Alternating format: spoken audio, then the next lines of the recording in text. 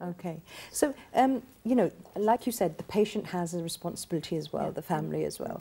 What should, uh, um, you know, if, if, if, a, if, a, if a woman is having um, healthy pregnancy, normal pregnancy, that is progressing normally, what should she be doing before her delivery? What do you advise? And what about those myths that go around, you know? For uh, example? uh, for example, you know, to eat something or take something that will help you, yeah, or whatever. Yeah. Slide yeah. Um, all right. Coming back, you've chosen the doctor. Mm. You're listening. You're going for your regular visits, Mm. right?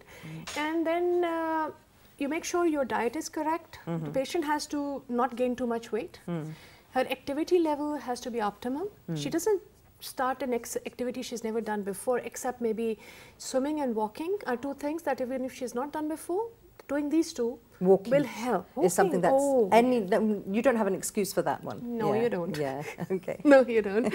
and uh, see, the women in those cultures where they squat a lot, where they sit on Ah, the ground, right. tend to pop the babies. Yes. Right? True. True. Our lifestyles have hmm. contributed to it. Mm-hmm, uh, mm-hmm. sitting on the chairs, um, hmm. not really moving around, not exercising, the pelvis doesn't open. Hmm. Right? So uh, that's one side.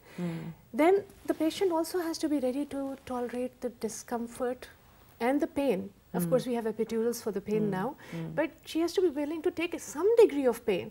I have had patients come to my office and request a cesarean and uh, request that please don't tell the family that I've requested. Make an Oh. excuse for me. Oh dear, because they don't want to go through the pain of labour. Or the unpredictability. Okay. Lots of people schedule because of convenience. Uh, there are lots of cesareans, their indication is patient's choice. Uh-huh. That is increasingly in demand. Okay. They don't, they, they're working women, they are celebrities, they hmm. want scheduled uh, deliveries. They don't want mm-hmm. the unpredictability of rushing to the hospital middle of the night. Okay. Right? So there is a contribution, a lot of contribution from the patients. Hmm. And then once you're trusting the doctor, you have to trust till the last moment. Yes. The doctor may need to do an emergency cesarean in the end, but you have to be, understand that it will only be done Mm, if in the mother your interest or and the the, child's interest. Yes. Okay.